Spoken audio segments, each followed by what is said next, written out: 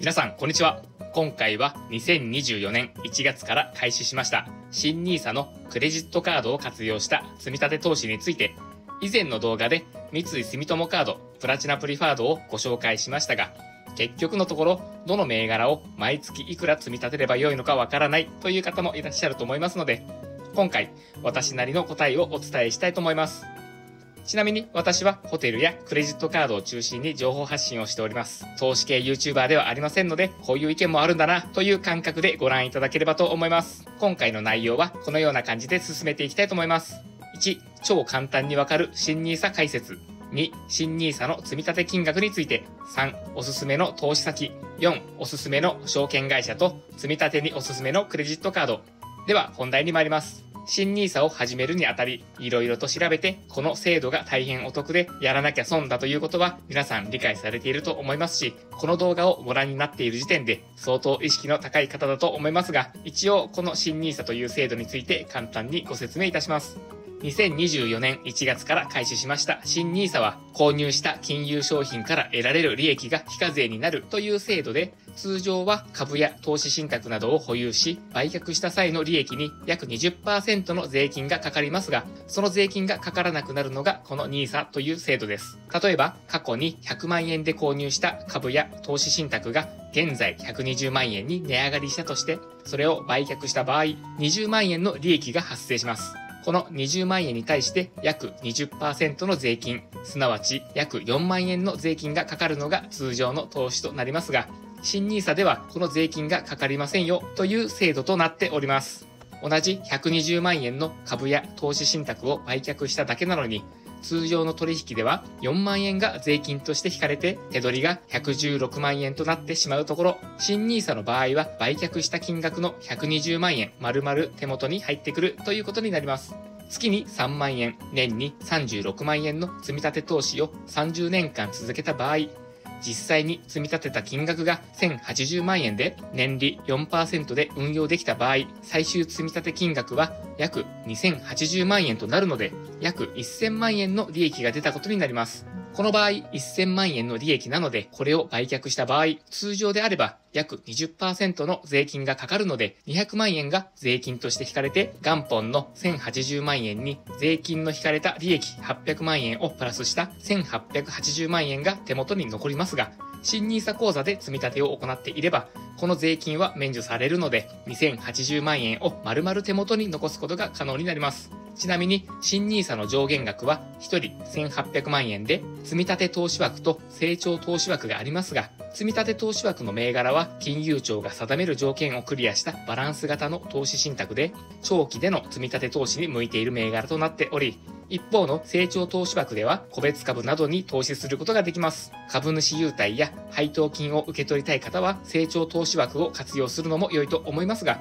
今回は長期積立投資を前提としているので、積立投資枠に投資することとしてお話しさせていただきます。ちなみに、この NISA という制度の名称は、イギリスの ISA 個人貯蓄口座をモデルとした日本版 ISA として誕生したことから NISA という名称になったそうです。これまでの NISA は投資金額が少額であったり、非課税期間が短かったのですが、今回の新 NISA では、投資可能額の拡大や税金がかからない期間の無期限化など、従来の NISA よりも大幅に改善されたことから大変注目されている制度となっております。では次に、新 NISA の積立金額について、いくらを毎月積み立てればよいのか解説していきたいと思います。結論から言いますと、皆さんが働かなくなる年齢から平均寿命まで毎月必要なお金が賄えるだけの金額となります。具体的に言いますと、働かなくなる年齢が65歳だとして、平均寿命が男性は81歳、女性は87歳なので、男性は16年間、女性は22年間となるので、月にすると男性は192ヶ月、女性は264ヶ月となります。毎月の必要なお金が20万円の方であれば、男性は3840万円、女性は5280万円となります。ただし、これに年金がもらえると思いますので、今よりももらえる年金が少なくなったと見積もって、月に10万円年金をもらえるとした場合、月に必要なお金は10万円となるので、先ほどの金額の半分、男性は1920万円、女性は2640万円が必要となると仮定してお話しさせていただきます。このように、老後に毎月いくら必要かを考えることによって、積立投資を行う際の積立額が決まると思います。さらに、現在の年齢が30歳の方であれば35年間、40歳の方であれば25年間、50歳の方であれば15年間、60歳の方であれば5年間と働かなくなる年齢までの時間が異なりますので、それぞれでシミュレーションしてみたいと思います。投資信託の平均利回りは5%から9%と言われているので、今回のシミュレーションでは一番利回りの低い5%で計算してみたいと思います。まず30歳の方が65歳まで35年間積立投資を行う場合、男性は毎月1万7000円、女性は毎月2万4000円、40歳の方が65歳まで25年間積立投資を行う場合、男性は毎月3万3000円、女性は毎月4万5000円、50歳の方が65歳まで15年間積立投資を行う場合、男性は毎月7万3000円、女性は毎月10万円、60歳の方が65歳まで5年間積立投資を行う場合、男性は毎月28万3000円、女性は毎月38万9000円となります。このように積立投資を行う場合、長期間運用することで毎月の積み立てる金額を低く抑えることができますが、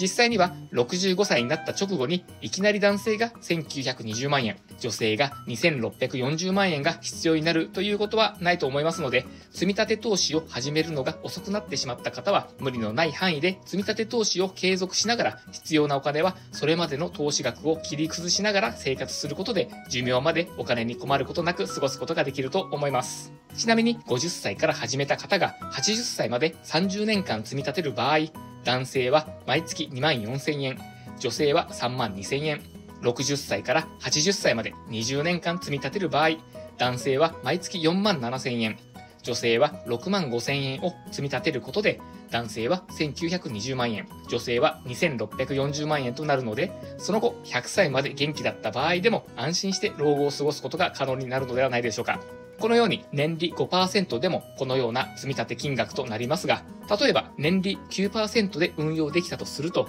30歳の方が65歳まで35年間積立投資を行う場合、男性は毎月7000円、女性は毎月1万円、40歳の方が65歳まで25年間積立投資を行う場合、男性は毎月1万8000円、女性は毎月2万5000円、50歳の方が65歳まで15年間積立投資を行う場合、男性は毎月5万2000円、女性は毎月7万2000円、60歳の方が65歳まで5年間積立投資を行う場合、男性は毎月25万7000円、女性は毎月35万3000円となります。このように積立投資を行う場合は5年や10年ではなく最低でも15年以上行うことを前提として現在の年齢とそれぞれのライフスタイルに合わせて老後に必要な金額が分かれば毎月の積立額は決まるのではないでしょうか。個人的な見解としては30代の方は月1万円から3万円、40代の方は月3万円から5万円、50代の方は月5万円から7万円ほどの積立金額を基準として収入や貯蓄、趣味などにかかる費用などによって積立額を調整していけば良いのではないかと思います。よって自分の限界を超えた積立額に設定する必要はなく、現在の趣味ややりたいことにかかるお金は必ず手元に残るように計算し、その上で余剰資金を積立投資に充てるという方法にすることで、長期投資を成功させることができるのではないでしょうか。いくら将来のためといっても、無理をして投資をしてしまえば、あなた自身の貴重な今という時間は返ってきません。若くて元気なうちに旅行に行くことや、子供とディズニーランドや USJ に出かけること、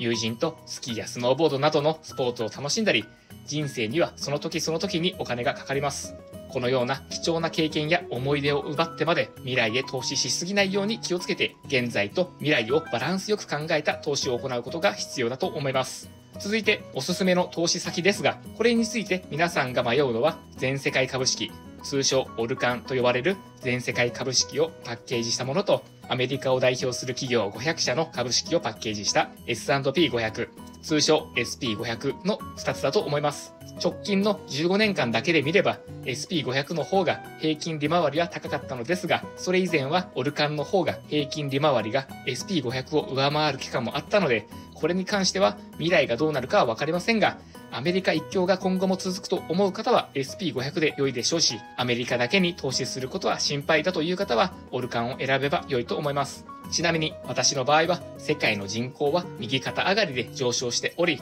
世界経済は少しずつ発展すると信じているので、オルカンに投資することにしました。また、オルカンは現在でも6割がアメリカ企業の株式となっているので、今後アメリカが急成長したとしても、オルカンを買っておけば、その恩恵は受けられるでしょうし、現在14億人を超え、世界一の人口となったインドも含んでおり、今後の経済成長も期待しております。ですが、基本的には今後もアメリカが最強の国であり、経済発展も間違いないと思っているのが本音ですので、SP500 を選択しても全く問題ないと思います。具体的な銘柄では、e マキシススリム全世界株式オールカントリー、もしくは e マキシススリム米国株式 S&P500 のどちらかを選んでおけば間違いないと思います。この2つのファンドであれば、信託報酬率が年率0.05775%以内と他のファンドに比べて低くなっているので、将来積立額が大きくなった際に、この信託報酬が低いことが大きなメリットになるため、この2つのファンドのどちらかを選択しておけば安心だと思います。なお、どのファンドを購入するとしても、事前に必ず目論見書を読んで、投資に関する運用方針やリスク、コストなどをご確認の上購入してください。続いて、おすすめの証券会社及び積み立てる際のクレジットカードですが、証券会社は SBI 証券、楽天証券、マネックス証券がおすすめとなります。この3つの証券会社であれば、新 NISA 口座を開設し、各証券会社提携のクレジットカードを発行、毎月のクレジットカード積立投資設定を行うことで、あとは自動で積立投資を行うことができます。また、積立額の変更や現在の資産額などもスマートフォンのアプリから確認できるので、利便性にも優れています。それぞれの提携クレジットカードは、SBI 証券が三井住友カード、楽天証券は楽天カード、マネックス証券はマネックスカードとなっており、SBI 証券が提携している三井住友カードは年会費が無料の一般カードがクレカ積立時0.5%還元。年会費5500円のゴールドカードが1%還元。年会費が3万3000円のプラチナプリファードが5%還元となっており、ゴールドカードは年に100万円利用することで永年無料になるため、2年目以降は年会費を無料にすることもできます。楽天カードは年会費無料の一般カードがクレカ積立時0.5%還元。年会費が2200円のゴールドカードは0.75%還元。年会費が1万1000円のプレミアムカードは1%還元となっており、マネックスカードは初年度年会費無料。2年目以降は550円の年会費がかかりますが、クレカ積立時1.1%の還元率で年に1回でもカード利用があれば、翌年の年会費は無料になりますし、クレカ積立もカード利用の対象となるので、クレカ積立を行っていれば年会費が無料となります。私は以前から SBI 証券を利用していたので、そのまま SBI 証券と三井住友カード、プラチナプリファードの組み合わせでクレカ積立を行っていますが、普段から楽天市場でお買い物をする方は楽天証券でも良いですし、実質年会費無料で1.1%還元のマネックス証券を選択するのも良いと思います。ではなぜ私は三井住友カードの中でも年会費が高額なプラチナプリファードを選択したかと言いますと、このカードで積み立て投資を継続することで定期的に V ポイントが貯まり、様々な使い道が考えられるからです。プラチナプリファードは現在、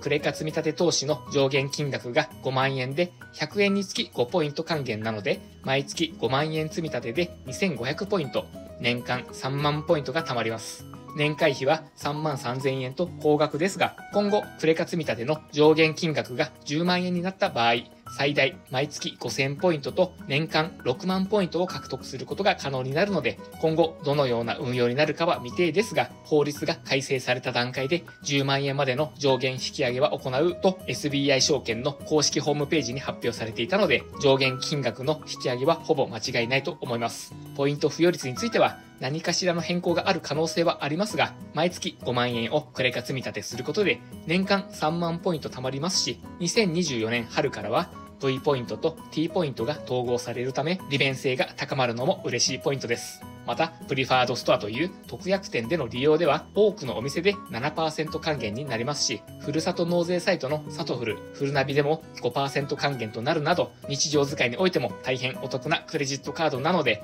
詳しくは以前投稿しました概要欄の動画をご覧ください。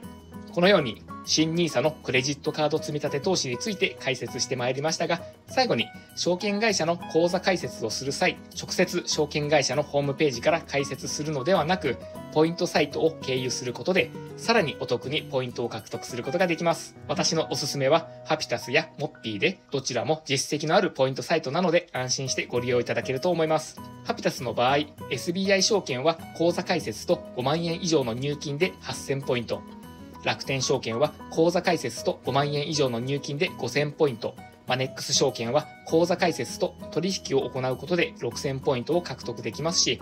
モッピーの場合は SBI 証券は口座開設と5万円以上の入金で8000ポイント。マネックス証券は口座開設と取引を行うことで5000ポイントを獲得できます。新 NISA を行う際、必ず証券会社の口座開設は必要になるので、ぜひこのポイントサイトを活用してポイントを獲得してもらえればと思います。概要欄に紹介リンクがありますので、初めての方はこちらから登録することで、ハピタスは1月中は最大3000ポイント、2月以降でも最大2000ポイント多くもらえますし、モッピーは最大2000ポイント多くポイントをもらうことができますので、ぜひご活用ください。以上まとめますと、新 NISA は大変お得な制度なので、年齢に関係なく始めるべきであり、積立金額は始める年齢により1万円から7万円を基準にライフスタイルに合わせて金額は調整する。投資するファンドは EMAXIS スリム全世界株式オールカントリーか EMAXIS スリム米国株式 S&P500 のどちらかを選ぶ。証券会社はネット証券の SBI 証券、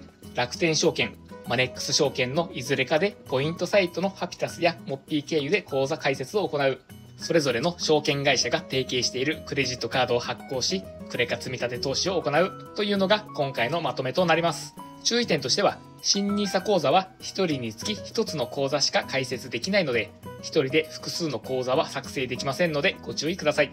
以上が今回の内容となります。投資系チャンネルではないので、異論はあるかと思いますが、あくまで私の個人的な見解となりますので、ご理解いただければ幸いです。この動画が少しでも役に立ったと思われましたら、グッドボタンとチャンネル登録をしていただけますと、今後の動画作成の励みとなりますので、よろしくお願いいたします。最後までご覧いただきましてありがとうございました。